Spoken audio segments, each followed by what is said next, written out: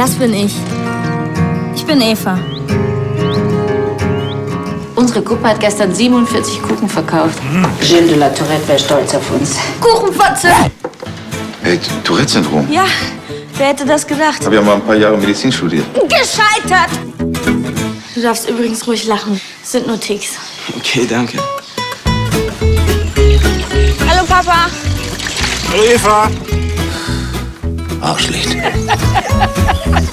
Bei mir darfst du alles kaputt machen. Alles. Hier bin ich zu Hause. Hallo Eva. Guten Morgen. Schönen Tag noch. Hier bin ich sicher.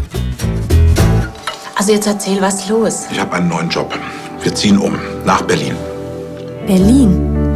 Ständig neue Leute. Immer wieder alles von vorne erklären. Ich habe Angst, Oma. Niemals. Ach, Mädchen, von alleine passiert gar nichts.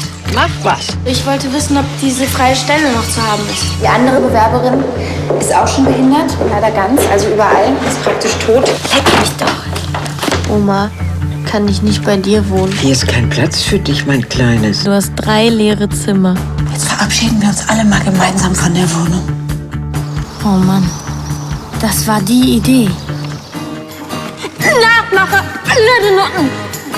Jetzt vielleicht noch etwas, wo man deine Behinderung noch besser sieht. Toll. Ja, genau so. Du bist genial.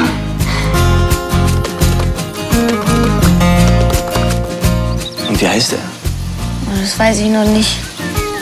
Wie heißt du Ficker denn? Ich glaube, das passt nicht.